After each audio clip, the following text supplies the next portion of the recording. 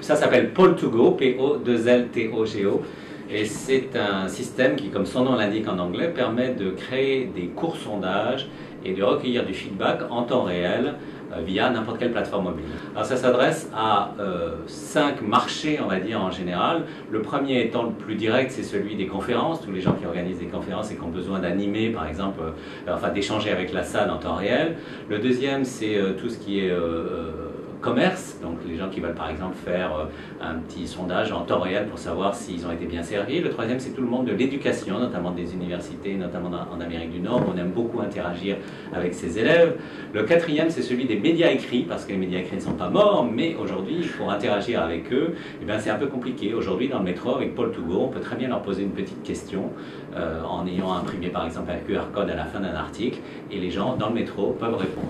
Alors, c'est euh, freemium, donc c'est gratuit et payant. L'application, quand on charge l'application, on n'est pas obligé de télécharger une application, mais on peut, elle est entièrement gratuite. Le service est gratuit dans la limite de 20 votes. En fait, on ne paye qu'au-delà de 20 votes. Si on s'attend en tant que créateur, hein, il n'y a évidemment que le créateur du sondage ou du, feedback qui euh, paye, euh, et s'il s'attend à recevoir plus de 20 réponses, eh bien, il doit acheter des crédits.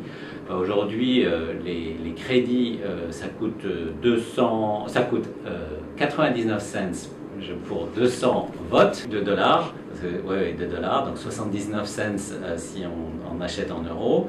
Avec ça, on peut recevoir 200 votes. Donc, si on est devant une salle où il y a 100 personnes, ben, ça permet de faire deux polls, deux sondages.